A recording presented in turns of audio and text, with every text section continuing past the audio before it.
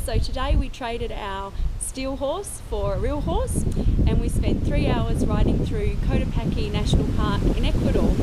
So we started off on the horses, minds of their own, but we headed off across the plains. We saw wild horses, then we wandered up to the base of the volcano which was covered in snow. It was just beautiful. We felt like we were the only people in the park and then we came back and just really enjoyed the tranquility of the park. Sore bottoms, but it was worth it. Enjoy Cotopaxi.